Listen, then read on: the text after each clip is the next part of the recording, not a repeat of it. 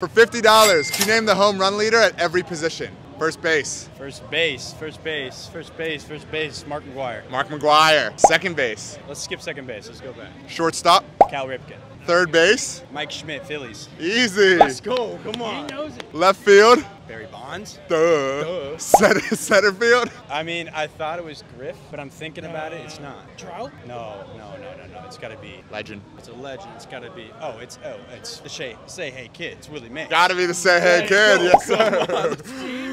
Right field, Hammer and Hank, baby. you Second base. I need this. Second base. got catcher still, you got catcher Oh, still. I got to catcher too. Piazza. Piazza. Let's go. this dude's electric. This dude's electric. Second base, come on. Come on, I got this. I can't get any hints. I don't want hints. I don't want hints. God damn it. I know this. You want his years? Give me a year. 92 to 08. He was kind of a journeyman, six teams. Jeff Kent. Let's go! Just 30 DH. Big Pop. Big Poppy!